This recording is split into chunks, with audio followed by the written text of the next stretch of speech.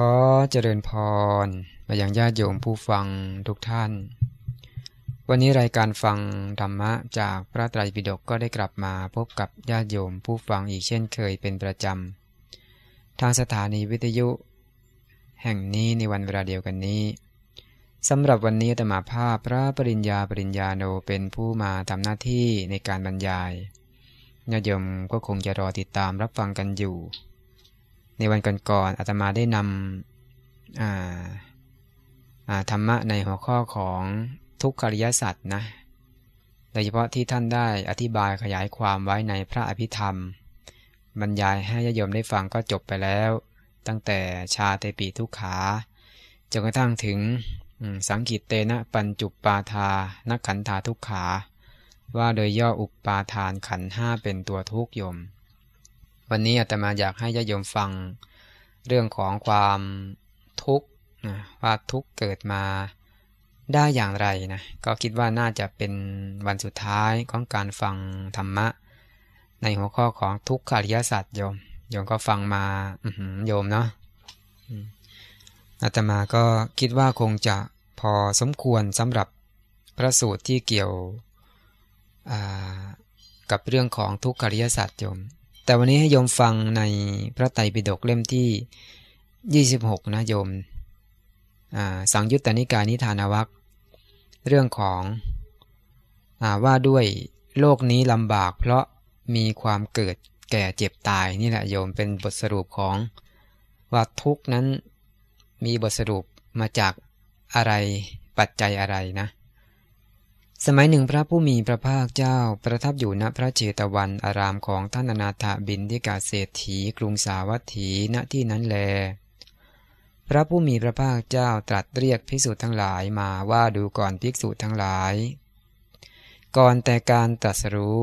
เมื่อเรายังเป็นพระโพธิสัตว์ยังไม่ได้ตรัสรู้ เราได้มีความคิดอย่างนี้ว่า โลกนี้ถึงความลำบากหนอ ย่อมเกิด แก่ ตาย จุติและอุบัติ ก็เมื่อเป็นเช่นนั้น ไม่มีผู้ใดทราบชัด ซึ่งธรรมเป็นที่สลัดออกจากกองทุกข์ คือชลาและมรณะนี้ได้เลยนะไม่มีใครรู้เลยว่าจะออกจากความแก่ ความตายได้อย่างไรนะ เมื่อไรหนอทำเป็นที่สลัดออกไปจากกองทุกข์ คือชลาและมรณะนี้จาก ปรากฏพระองค์ทรงดำรินะ เมื่อไหร่เราจะพ้นจากความแก่ความตายนี้ไปได้นะ ดูก่อนภิกษุทั้งหลาย เราได้มีความคิดอย่างนี้ว่า เมื่ออะไรหนอแลมีอยู่ชาลาและมรณะจึงมี เพราะอะไรเป็นปัจจัยจึงมีชาลาและมรณะ คือพระองค์ทรงดำริ ถึงผล คือชรา ความแก่ มรณะ ความตายเนี่ย เป็นผลในปัจจุบันที่พระองค์จะต้องกระทบนะ ต้องแก่ ต้องตายในอนาคตเนี่ย แล้วความแก่ ความตายเนี่ยเกิดมาจากอะไร คือผลในปัจจุบันนี่เกิดมาจากอะไร พระองค์ก็ทรงดำริพิจารณาด้วยปัญญานะ เพราะการใส่ใจโดยแยบคายของเรานั้น จึงรู้ได้ จึงรู้ได้ด้วยปัญญาว่า เมื่อชาติแลมีอยู่ชาราและมรณะจึงมีเห็นไหมโยม เพราะเกิดมานี่แหละ เพราะออกมาจากท้องแม่นี่แหละนะมันจึงมีความแก่และความตายเนี่ยเห็นแล้วโยม เห็นปัจจัยของปัจจัยของความแก่ความตายเนี่ยความแก่ความตายเป็นผลนะชาติการเกิดเนี่ยเป็นเหตุโยม ถ้าไม่เกิดมาก็ไม่ต้องแก่ไม่ต้องตายนะพระองค์ก็ทรงรู้ด้วยพระปัญญาว่า อืมเนี่ย ชาตินี่แหละ เป็นตัวเหตุ ให้แก่และตาย เพราะชาติเป็นปัจจัยจึงมีชาราและมรณะ เรานั้นได้มีความคิดดังนี้ว่า เมื่ออะไรหน่อแลมีอยู่ชาติจึงมีนยม เพราะการใส่ใจโดยแยบคายของเรานั้นจึงรู้ได้ด้วยปัญญาว่า พบเมื่อพบมี ชาติจึงมีนะคือชาตินี่เกิดมาจากภพนะโยมนะเรียกว่า เมื่อภพมีเนี่ย ชาติจึงมีโยม ถ้าไม่มีภพชาติก็ไม่มีภพก็คือกรรมมาภพกรรมที่ทำแล้วเป็นเหตุให้เกิดภพนั่นเองนะภพในที่นี้ก็คือว่าที่เป็นกรรมฝ่ายดี แล้วก็กรรมฝ่ายไม่ดี ก็คืออกุศลกรรม แล้วก็กุศลกรรมนั่นเองนะโยมมีกรรมภพแล้วก็มีอุปติภพอุปติภพก็คือภพภูมิต่างๆ การถือปฏิสนธินะเนี่ยก็พระองค์ก็ทรงรู้ว่าภพเนี่ยเป็นปัจจัยทำให้เกิดชาติ ทีนี้พระองค์ก็ทรงพิจารณาต่อไปอีกว่าแล้วภพเนี่ยซึ่งเป็นผลเนี่ยเกิดมาจากเหตุอะไร พระองค์ก็ได้ทรงรู้ เนี่ยเพราะการใส่ใจโดยแยบคายของเรานั้นจึงรู้ได้ว่า จึงรู้ได้ว่า พบมีตัณหามีพบจึงมีนะคือว่ามีตัณหา ยึดมั่นถือมั่นว่าเป็นอของเราก็ดี ความยินดี ความพอใจก็ดีที่เรียกว่าตัณหา ราคะ ความกำหนัดรักใคร่ ในกามก็ดีในภพก็ดีในวิภพก็ดีนะ ตรงนี้ตมาไม่ไม่อธิบายละเอียดนัก แต่ให้รู้ว่าตัณหาเนี่ยเป็นเหตุให้เกิดภพนะตัณหามีภพจึงมีพระองค์ก็ได้ทรงพิจารณาต่อไปอีกว่า และอะไรทำให้เกิดตัณหาพระองค์ก็ทรงรู้ได้ว่า เพราะเวทนามี ตัณหาจึงมียม เวทนาก็คือ ความสวยอารมณ์สุขทุกข์ ยินดี หรือว่า สุขทุกข์ดีใจเสียใจอุเบกขาเนี่ยการสวยอารมณ์เนี่ยโดยโดยเฉพาะการสวยอารมณ์ที่เป็นสุขเวทนาหรือโสมนัสเวทนาเนี่ยเป็นเวทนาที่ทำให้สัตว์เหล่านั้นติดอกติดใจในการสวยอารมณ์นั้นๆ เช่นสวยอารมณ์ดู รูปสวยเสียงเพราะกลิ่นหอมรสอร่อยเป็นต้น ก็ทำให้เกิดกามตัณหา หรือยินดีในฌานในสมาธิในวิปัสสนา ก็เป็นภวะตัณหานะยินดีในความขาดศูนย์ก็เป็นวิภวะตัณหา เวทนาจึงเป็นปัจจัยให้เกิดตัณหาพระองค์ก็ทรงพิจารณาต่อไปว่า อะไรเป็นปัจจัยทำให้เกิดเวทนา ก็ทรงรู้ด้วยพระปัญญาว่าผัสสะมี เวทนาจึงมีนะการกระทบซึ่งอารมณ์ ถ้าไม่มีการกระทบอารมณ์เนี่ยเวทนาก็ไม่มี ดังนั้นเวทนาเนี่ยจึงเป็นผลของผัสสะ ผัสสะซึ่งกระทบอารมณ์ทาง ตา หู จมูก ลิ้น กาย ใจ ก็เป็นเหตุให้เกิดเวทนา เวทนาเป็นผล ผัสสะเป็นเหตุ แล้วผัสสะเป็นผลของอะไร ผัสสะเกิดมาจากอะไร พระองค์ก็ได้ทรงรู้ด้วยปัญญาว่าสรายสรายตนะมีภาษาจึงมี สรายตนะ ก็คืออายตนะ ที่เป็นเครื่องต่ออารมณ์ ระหว่างอายตนะภายในหกอายตนะภายนอกหกนะ ตาหูจมูกลิ้นกายใจเป็นอายตนะภายใน รูปเสียง กลิ่นรสโผฏฐะธรรมารมเนี่ยเป็นอายตนะภายนอกกระทบกันโยมอายตนะเนี่ยกระทบกันก็เป็นผลทำให้เกิดผัสสะขึ้นมานะดังนั้นอายตนะเนี่ย อายตนะจึงเป็นเหตุให้เกิดผัสสะพระองก็ทรงพิจารณา ต่อไปว่า แล้วอะไรเป็นปัจจัยทำให้เกิดอายตนะจึงรู้ว่า นามรูปโยม นามรูปมีเนี่ยอายตนะจึงมี นามก็คือจิตเจตสิกนะ รูปก็คือรูปขันคือจักขุโสตคานะชิวหา กายะเป็นต้นเนี่ยนะก็คือรูปขันนี่แหละ นามรูป มีเนี่ยสรายตนะจึงมี แล้วอะไรเป็นปัจจัยทำให้เกิดนามรูปนะเพราะการใส่ใจโดยแยบคายของเรานั้นจึงรู้ด้วยปัญญาว่าเมื่อวิญญาณมีอยู่ นามรูปจึงมี วิญญาณนั่นคือตัวจิต ตัวปฏิสนธิจิตที่เกิดขึ้นในครั้งแรก ในคันของมารดาก็ดี หรือว่าในภพภูมิในภพภูมิหนึ่งก็ดีนะจะเป็นปฏิสนธิวิญญาณ หรือประวัติ วิบากวิญญาณเนี่ยอันนี้เป็นเรื่องละเอียดของพระอภิธรรมนะโยมนะ สรุปย่อๆคือว่า เพราะจิตใจมีนั่นแหละ จิตใจที่ถือปฏิสนธิครั้งแรกเนะี่ยหรือว่าจิตใจที่เกิดขึ้นในตอนหลังๆเนี่ย เป็นปัจจัยทำให้เกิดนามรูปนะโยม คือมีจิตมีมีจิต มีมีวิญญาณ ตัวรู้เนี่ย เป็นปัจจัยทำให้เกิดนามรูป ถ้าไม่มีวิญญาณ เช่นคนตายใช่ไหมโยม เมื่อคนตายไม่มีวิญญาณเนี่ยนามรูปก็ดับ อาจตนะก็ไม่เกิด ก็ก็เห็นชัดเจนนะดังนั้นนามรูปที่มีอยู่ก็เพราะว่าวิญญาณยังมีอยู่โยม ทีนี้พระองค์ก็ทรงพิจารณาต่อไปว่า เรานั้นได้มีความคิดดังนี้ว่า เมื่ออะไรหนอแลมีอยู่วิญญาณจึงมี เพราะอะไรเป็นปัจจัยจึงมีวิญญาณโยมนะวิญญาณเป็นปัจจัยให้เกิดนามรูป แล้วอะไรเป็นปัจจัยให้เกิดวิญญาณ เพราะการใส่ใจโดยแยบคายของเรานั้น จึงรู้ด้วยปัญญาว่าเมื่อ นามรูป มีอยู่ วิญญาณจึงมีอ้าวกลับไปกลับมาแล้วโยมนะเนี่ย นามรูปนี่แหละนะ นามรูปมีอยู่ นามรูปก็เป็นปัจจัยทำให้เกิดวิญญาณด้วยนะ เพราะนามรูปเป็นปัจจัยจึงมีวิญญาณ เรานั้นได้มีความคิดดังนี้ว่า วิญญาณนี้แลได้กลับ ได้กลับแล้วเพียงเท่านี้ คือเป็นปัจจัยกลับไปกลับมานะโยมนะคล้ายๆ กระบวนการของเหตุปัจจัยโยม เช่น ต้นไม้ ต้นไม้ออกจะเดินเติบโตมาเป็นกิ่ง ก้านสาขาออกดอกออกลูกออกผลสุก ผลสุกเอาไปกินแล้วก็มีเมล็ด เมล็ดก็เป็นปัจจัยทำให้เกิดต้นไม้อีกโยม ต้นไม้ก็เป็นปัจจัยทำให้เกิดผลทำให้เกิดเมล็ด เมล็ดก็เป็นปัจจัยทำให้เกิดต้นไม้ใหม่นี่ กระบวนการของเหตุปัจจัยก็จะหมุนวนเป็นวัฏจักร ที่เรียกว่าเป็นเกลียสวัตกรรมวัตติปากวัตหมุนวนไปอย่างนี้โยม ใน กระบวนการคล้องความแก่เจ็บตายที่ยะยมฟังมาทั้งหมดเนี่ยก็จะหมุนกลับเป็นปัจจัยให้กันและกันไปอย่างนี้เรื่อยๆนะเรานั้นได้มีความคิดดังนี้ว่าวิญญาณนี้แลได้กลับแล้วเพียงเท่านี้ ไม่ไปพ้นจากนามรูปได้เลย ด้วยเหตุเพียงเท่านี้ โลกย่อมเกิด แก่ ตาย จุติและอุบัติ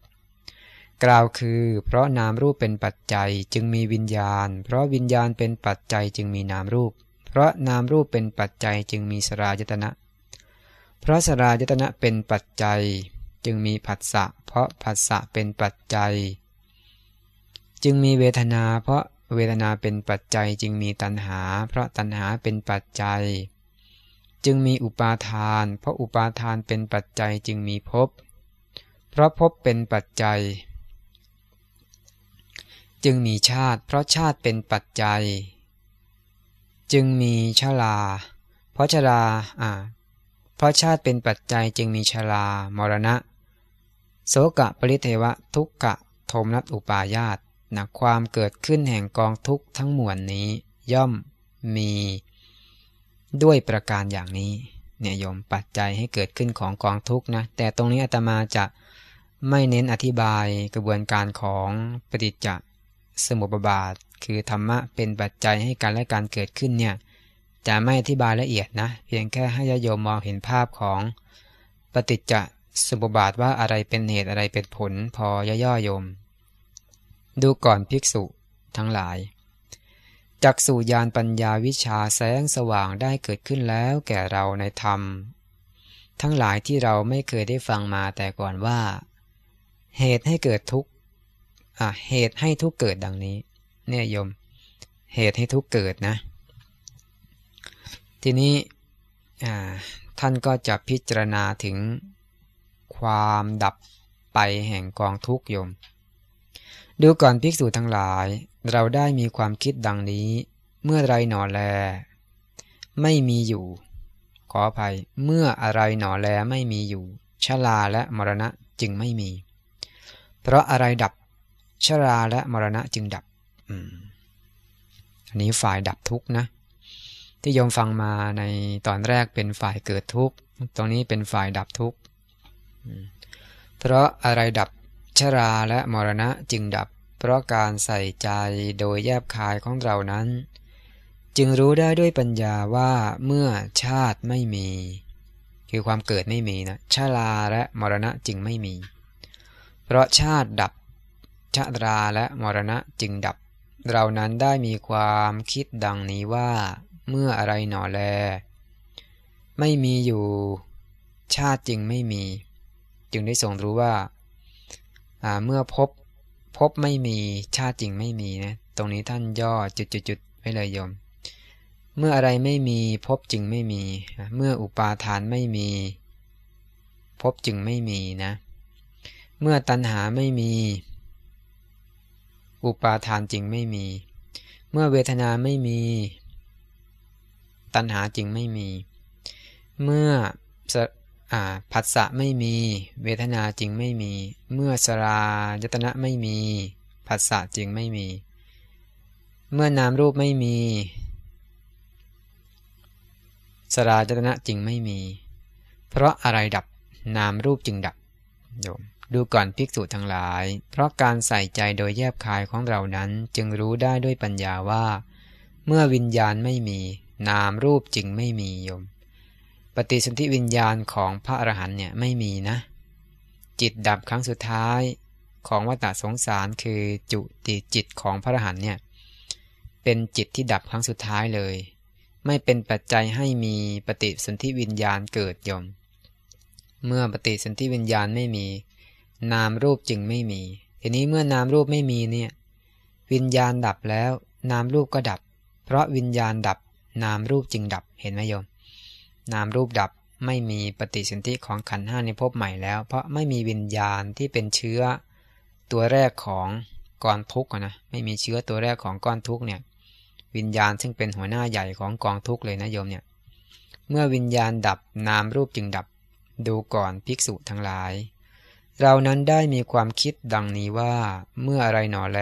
ไม่มีอยู่วิญญาณจึงไม่มี เพราะอะไรดับวิญญาณจึงดับ เพราะการใส่ใจ โดยแยบคายของเรานั้นจึงรู้ได้ด้วยปัญญาว่าเมื่อนามรูปไม่มี วิญญาณจึงไม่มีตรงนี้ละเอียดมากโยม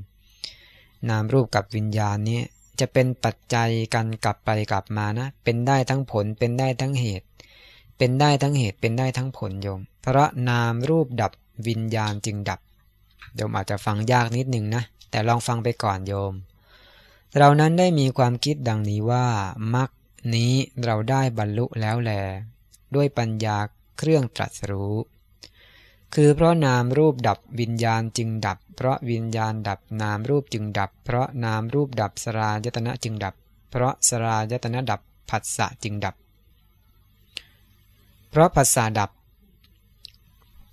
เวทนาจึงดับ เพราะเวทนาดับ ตัณหาจึงดับ เพราะตัณหาดับ อุปาทานจึงดับ เพราะอุปาอุปาทานดับภพจึงดับ เพราะภพดับ ชาติจึงดับ เพราะชาติดับ ชรามรณะจึงดับ ความดับแห่งกองทุกข์ทั้งมวลนี้ย่อมมีด้วยอาการอย่างนี้ ดูก่อนภิกษุทั้งหลาย จักสุยานปัญญาวิชาแสงสว่างได้เกิดขึ้นแล้ว แก่เราในธรรมทั้งหลายที่เรายังไม่เคยได้ฟังมาแต่ก่อนว่า เหตุให้ทุกดับ เหตุให้ทุกดับ ดังนี้ ดูก่อนภิกษุทั้งหลาย บุรุษเมื่อเที่ยวไปในป่าทึบ ได้พบมักคาเก่า หนทางเก่า ที่คนก่อนๆเคยเดินไปมา เขาเดินตามทางนั้นไป เมื่อกำลังเดิน ตามทางนั้นอยู่พบนครเก่า พบราชธานีโบราณ ซึ่งสมบูรณ์ด้วยสวน ป่าไม้และซาโบกรณี มีเชิงเทินล้วนน่ารื่นรมที่คนก่อนๆเคยอยู่อาศัยมา ครั้งนั้นแลบุรุษคนนั้นจึงกราบทูลแด่พระราชา หรือเรียนแก่ ราชมหาอมาตว่าขอเดชะ พระองค์จง ทรงทราบเถิดพระพุทธเจ้าข้าข้าพระพุทธเจ้าเมื่อเที่ยวไปในป่าได้พบมักคาเก่า หนทางเก่าที่คนก่อนๆเคยเดินไปมาข้าพระพุทธเจ้าได้เดิน ตามทางนั้นไป เมื่อกำลังเดินตามทางนั้นอยู่ได้พบนครเก่า พบราชธานีโบราณ ซึ่งสมบูรณ์ด้วยสวนป่าไม้ซาโบครณี มีเชิงเทินล้วนน่ารื่นรมที่คนก่อนๆเคยอยู่อาศัยมา ขอพระองค์จงทรงสร้างพระนครนั้นเถิด พระพุทธเจ้าค่ะลำดับนั้นพระราชาหรือราชมหาอมาตย์จึงสร้างเมืองขึ้น จึงสร้างเมืองนั้นขึ้น สมัยต่อมาเมืองนั้นเป็นเมืองมั่งคั่ง และสมบูรณ์ขึ้น มีประชาชนเป็นอันมาก มีมนุษย์เกลื่อนกลน และเป็นเมืองถึงความเจริญไพรบูรณ์แม่ฉันใด ภิกษุทั้งหลายเราได้พบมรรคาเก่าหนทางเก่าที่พระสัมมาสัมพุทธเจ้า พระองค์ก่อนๆเคยเสด็จไป ก็มรรคาเก่าหนทางเก่าที่พระสัมมาสัมพุทธเจ้าพระองค์ก่อนๆเคยเสด็จไปนั้นเป็นไนคือมรรคอันประกอบด้วยองค์ 8 อันประเสริฐนี้แหละเดี๋ยวยมค่อยฟังรายละเอียดในตอนว่าด้วย ข้อปฏิบัติให้เข้าถึงความดับทุกข์นะ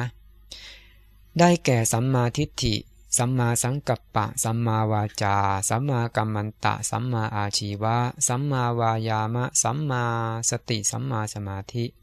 นี้แหลมักคาเก่าหนทางเก่าที่พระสัมมาสัมพุทธเจ้า พระองค์ก่อนๆเคยเสด็จไปแล้ว เป็นหนทางเข้าถึงความดับทุกข์นะ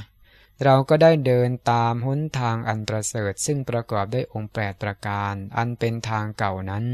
เมื่อกำลังเดินตามหนทางนั้นไป ได้รู้ชัดซึ่งชราและมรณะ เหตุเกิดขึ้นแห่งความขอไป เหตุเกิดขึ้นแห่งชราและมรณะ ความดับแห่งชราและมรณะ และได้รู้ชัด ซึ่งปฏิปทาเครื่องให้ถึงความดับชราและมรณะ เมื่อเรากำลังเดินตามทางอันประเสริฐ ซึ่งประกอบด้วยองค์แปดประการ อันเป็นทางเก่านั้นไปอยู่ ก็รู้ชัดซึ่ง ชาติไปยันใหญ่เลยโยมนะ ซึ่งพบ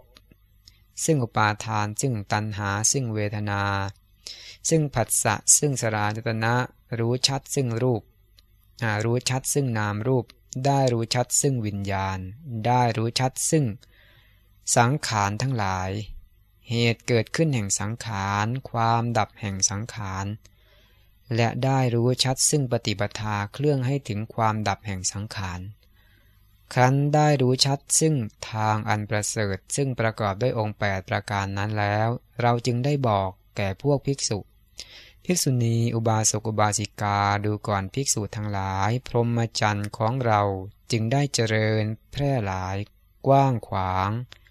มีชนเป็นอันมากรู้เป็นปึกแผ่นจนกระทั่งเทวดาและมนุษย์ทั้งหลายก็ได้ ก็ประกาศได้เป็นอย่างดี ดังนี้แล จบนครสูตรที่ห้าโยม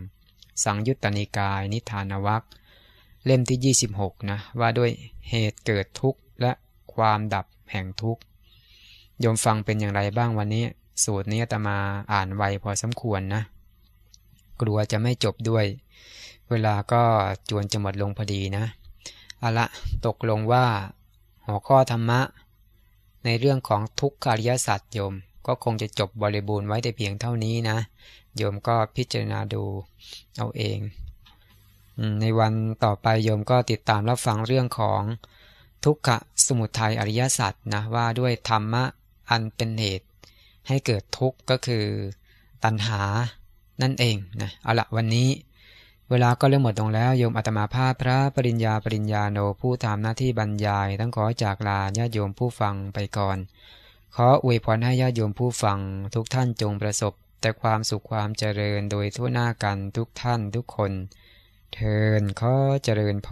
ร